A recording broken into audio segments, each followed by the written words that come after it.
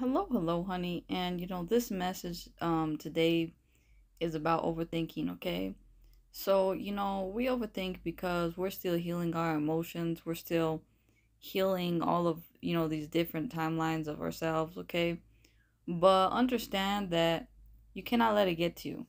Okay? So, um instead of getting, you know, overwhelmed with these, just sit with them. You know, learn to understand why you might be overthinking, you know?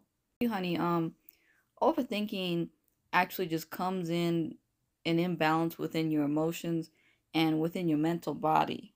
It's important that you just work with these emotions rather than sitting with them and just taking those thoughts. Okay, so basically, what I'm trying to say, honey, is don't take that thought.